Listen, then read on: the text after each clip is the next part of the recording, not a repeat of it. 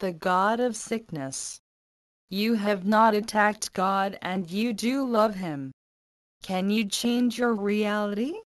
No one can will to destroy himself. When you think you are attacking yourself, it is a sure sign that you hate what you think you are. And this, and only this, can be attacked by you. What you think you are, can be very hateful, and what the strange image makes you do, can be very destructive. Yet the destruction is no more real than the image, although those who make idols do worship them. The idols are nothing, but their worshippers are the sons of God in sickness. God would have them released from their sickness, and returned to his mind. He will not limit your power to help them, because He has given it to you. Do not be afraid of it, because it is your salvation. What comforter can there be, for the sick children of God, except His power through you? Remember that it does not matter where in the sonship He is accepted. He is always accepted, for all, and when your mind receives Him, the remembrance of him awakens throughout the sonship. Heal your brothers, simply by accepting God, for them. Your minds are not separate, and God has only one channel for healing because He has but one Son. God's remaining communication link with all His children joins them together, and them to Him. To be aware of this is to heal them because it is the awareness that no one is separate, and so no one is sick. To believe that a son of God can be sick, is to believe that part of God can suffer. Love cannot suffer, because it cannot attack. The remembrance of love, therefore brings invulnerability with it. Do not side with sickness in the presence of a Son of God, even if he believes in it, for your acceptance of God in him acknowledges the love of God he has forgotten. Your recognition of him as part of God reminds him of the truth about himself, which he is denying. Would you strengthen his denial of God and thus lose sight of yourself? Or would you remind him of his wholeness and remember your Creator with him? To believe a Son of God is sick, is to worship the same idol he does. God created love, not idolatry.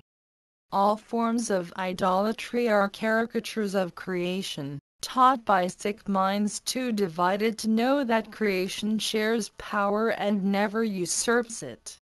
Sickness is idolatry, because it is the belief that power can be taken from you.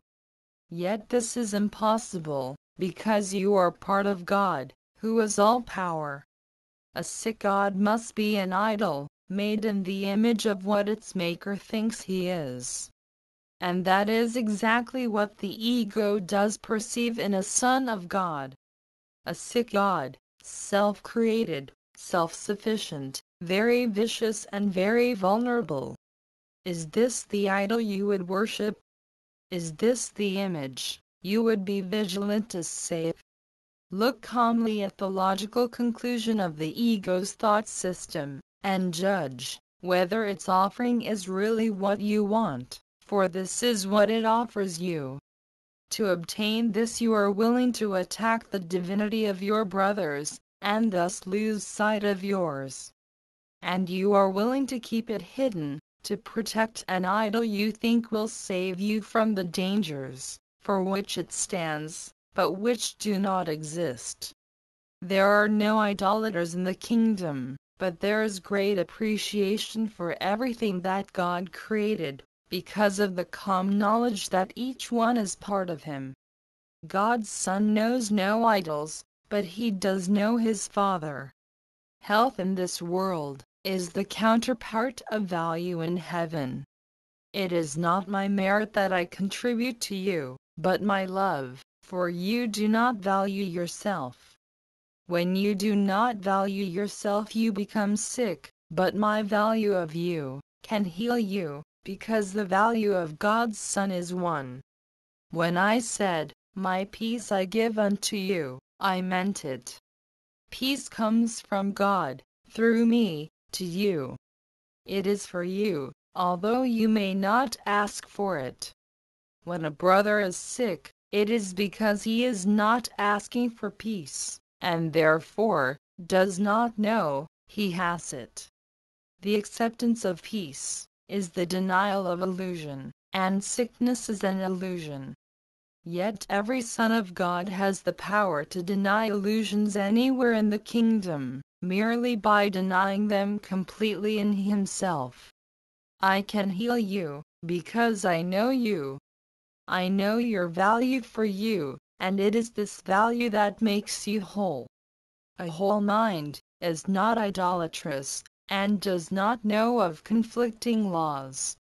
I will heal you, merely because I have only one message, and it is true. Your faith in it will make you whole, when you have faith in me. I do not bring God's message with deception, and you will learn this, as you learn that you always receive, as much as you accept. You could accept peace now for everyone, and offer them perfect freedom from all illusions, because you heard his voice but have no other gods before him or you will not hear. God is not jealous of the gods you make, but you are. You would save them and serve them because you believe that they made you. You think they are your father because you are projecting onto them the fearful fact that you made them to replace God. Yet when they seem to speak to you, Remember that nothing can replace God, and whatever replacements you have attempted are nothing. Very simply, then, you may believe you are afraid of nothingness, but you are really afraid of nothing. And in that awareness you are healed. You will hear the God you listen to. You made the God of sickness, and by making him, you made yourself able to hear him. Yet you did not create him, because he is not the will of the Father. He is therefore not eternal, and will be unmade for you the instant you signify your willingness to accept only the eternal. If God has but one Son, there is but one God. You share reality with Him, because reality is not divided. To accept other gods before Him is to place other images before yourself.